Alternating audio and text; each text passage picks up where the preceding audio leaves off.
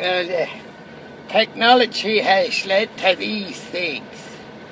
These are the things that tell us how to get around and where we need to go next. It's called the GPS. It apparently stands for going places uh, sometime. That's what the GPS is all about.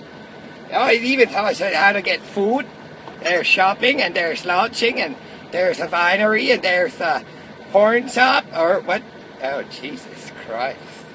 Lord Jesus. Either way, uh, we had some instructional videos that came with that in the mail. It's how to speak Spanish. Uh, what the fuck? ¡Viven una piña debajo del What the? That's the devil's music! What the fuck is this? What the spunta spunta? vas a explotar. Puta? ¡Todos! Vamos! I was gonna learn how to eat a goddamn taco, not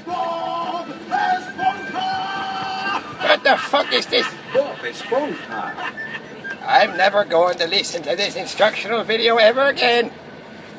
That's the way of the goddamn devil. That wasn't Dutch. That was that was the barbarian's chunko language.